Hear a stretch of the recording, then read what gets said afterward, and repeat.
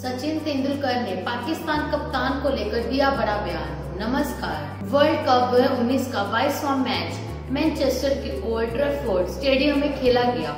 इस मुकाबले में भारत ने पाकिस्तान को डकवर्थ लुइस नियम के हिसाब से उनासी रनों से हरा दिया।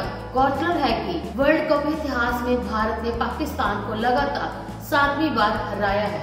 इस मैच में पाकिस्तान की हार के बाद कप्तान सरफराज अहमद के खराब कप्तानी पर शोएब अख्तर सहित पूरा क्रिकेट जगह तरह तरह की प्रतिक्रियाएँ दे रहा है अब भारत के पूर्व दिग्गज सलामी बल्लेबाज सचिन तेंदुलकर ने भी उनकी खराब कप्तानी पर अपनी प्रतिक्रियाएँ दी हैं। सचिन तेंदुलकर ने एक निजी न्यूज़ चैनल के बातचीत में कहा कि मुझे लगा कि सरफराज कंफ्यूज हैं, क्योंकि जब बहाव रियाज गेंदबाजी कर रहे थे तो उन्होंने शॉर्ट मिड विकेट लगाया था। इसके बाद जब शदाब खान आए तो उन्होंने स्लिप में एक फील्डर लगाया। ऐसी हालत में लोग सिग्नल के लिए गेंद पर पकड़ना मुश्किल होता है, खासकर जब सही लाइन और लेंथ नहीं हो। ये बड़े मैच में खेलने का सही तरीका नहीं है। उनके पास सोच का बिल्कुल अभाव दिखा। तेंदुलकर ने आगे कहा कि गेंद को अगर मूवमेंट नहीं मिल रही है तो आप ओवर द विकेट गेंदबाजी जारी नहीं रख सकते।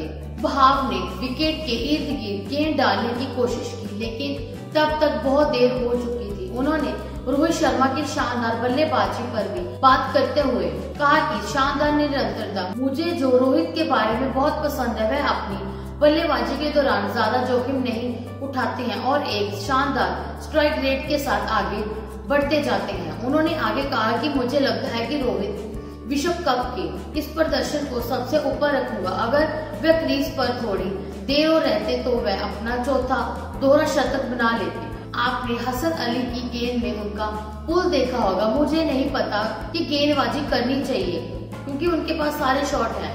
रविवार को उन्होंने साबित किया उसके पास अच्छे कट और फ्लिक हैं। दोस्तों, अगर आपको हमारी ये जानकारी अच्छी लगी तो कमेंट करके बताएँ। लाइक और शेयर ज़रूर कीजिए। और आगे भी ऐसी खबरें देखने के लिए हमारे चैनल को सब्सक्राइब करना ना भूलें, क्योंकि हम हर रोज ऐसी खबरें आपके लिए लाते रहते हैं।